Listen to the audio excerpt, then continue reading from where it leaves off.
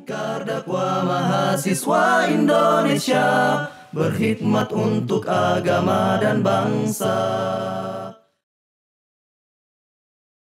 Bismillahirrahmanirrahim. Assalamualaikum warahmatullahi wabarakatuh. Saya Dr. Fahri Wahid mengucapkan selamat bermuktamar yang keempat pimpinan pusat Lingkar Dakwah Mahasiswa Indonesia tanggal 26 sampai 28 Februari 2022 dengan tema mewujudkan pemuda Rabbani menuju Indonesia beradab. Semoga Allah memberi kekuatan dan kemudahan dalam melaksanakan muktamar dengan sebaik-baiknya dan menghasilkan keputusan-keputusan yang memberi maslahat yang besar untuk umat dan bangsa yang kita cintai. Litmi harapan untuk negeri. Jaya!